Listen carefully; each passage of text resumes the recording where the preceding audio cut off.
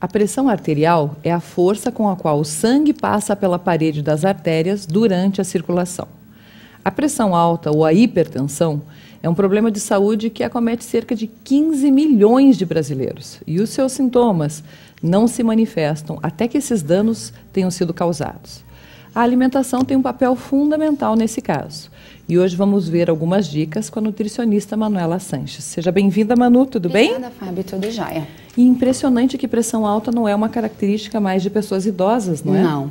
Não é, não. Tem até crianças com pressão alta? Sim. É um, primeiro, Fábio, é um fator hereditário. E segundo, como você falou, que é a força que o sangue exerce sobre as artérias. Então, por exemplo, uma criança ou um adolescente com colesterol alto, então já está prejudicando as artérias com depósitos de, de gordura, então já vai começar a desenvolver pressão alta. Pessoa que é muito ansiosa também, então sempre está com taquicardia, está uhum. nervoso.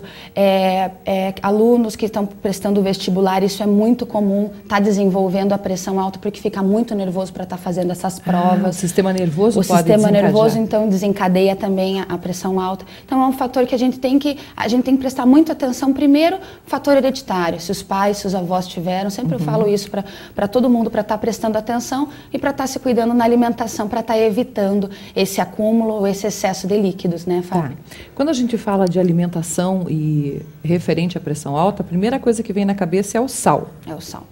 Então, quem tem pressão alta tem que comer pouco sal. Exatamente. Por quê? Porque o sal, ele retém líquido. Uhum. Então, se ele retém líquido, ele aumenta o volume sanguíneo. Então, então se aumenta o volume, se você é, vai aumentar a pressão consequentemente. Né? Então, por isso a gente tem que cuidar do sal. Não não ingerir o sal, porque a gente não, não tem como a gente estar tá fugindo do sódio, porque o sódio ele é presente em quase todos os alimentos, tá. principalmente nos industrializados, que tem uhum. uma quantidade muito maior, pelo fato do sódio ser um conservante. Né? Então, a, a, minha dica é para quem está desenvolvendo a pressão alta, para quem já tem um fator hereditário na família, é estar tá evitando o consumo de alimentos industrializados, tá. né? Principalmente os mais famosos, né, Fábio? Salgadinho, é, molhos prontos, ketchup, shoyu. Shoyu é um veneno, né? Shoyu é, é o teor de, de sódio é muito grande. Então, quem gosta de vez em quando de uma comida japonesa, de uma comida chinesa, gosta do shoyu, eu sempre estou indicando indicando o shoyu light, que já tem nos uhum. mercados para estar tá vendendo. Ele, ele é reduzido o teor de sódio, lógico, não está utilizando à vontade também. Tá. Mas cerca de uma vez por semana, duas vezes por semana para você estar tá temperando alguma coisa, vamos estar tá utilizando o shoyu light. E até quem não tem problema de, de, uhum. de pressão prevenir. alta, prevenir. Por quê? Porque a retenção de líquido também deixa a pessoa mais inchada, então, uhum. consequentemente, você fica já com excesso de peso, né?